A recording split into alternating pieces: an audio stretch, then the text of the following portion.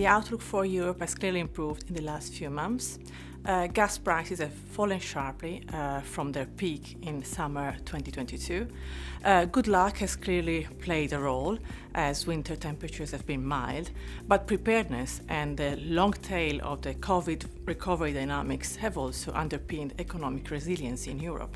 European governments implemented targeted fiscal measures to shield households from in large increases in utility bills, and also they made sure that gas storages were plentiful uh, before the winter season.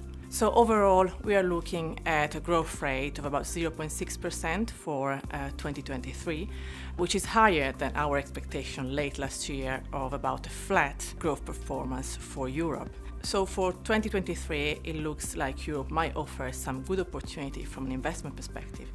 Looking ahead, though, there are still some challenges.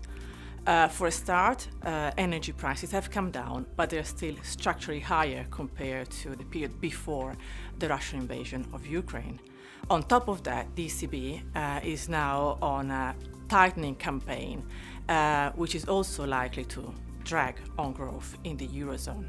So looking ahead, the Eurozone is still facing some challenges.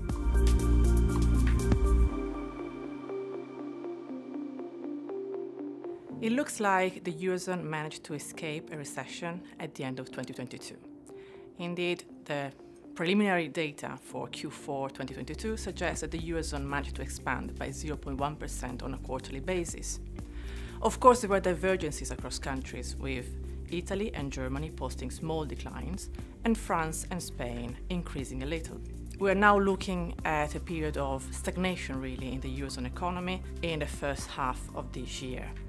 Going forward, the Eurozone cycle is quite sensitive to what happens in the US. If the US falls into recession in the second half of 2023, the Eurozone will likely follow with a lag that typically is uh, in the range of two to three quarters.